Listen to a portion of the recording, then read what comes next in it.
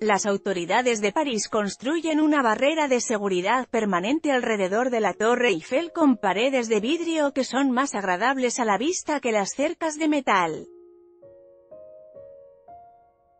Las obras que comenzaron en 2017 para colocar protección a la «Dama de Hierro» están casi terminadas.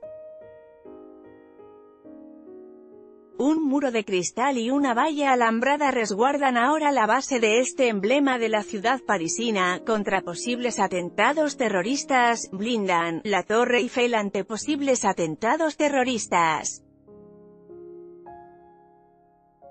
Foto, App la compañía que opera el monumento más visitado de Francia dijo que los panales transparentes se montarán en los extremos norte y sur del sitio, cada panel, hecho de un vidrio blindado de más de 6 centímetros de grosor, mide 3 metros de altura y pesa 1,5 toneladas, en los otros dos costados, se erigieron dos barreras de metal y se colocarán volardos alrededor para detener ataques con vehículos, foto, App soldados y policías estarán patrullando al interior y exterior de la zona, como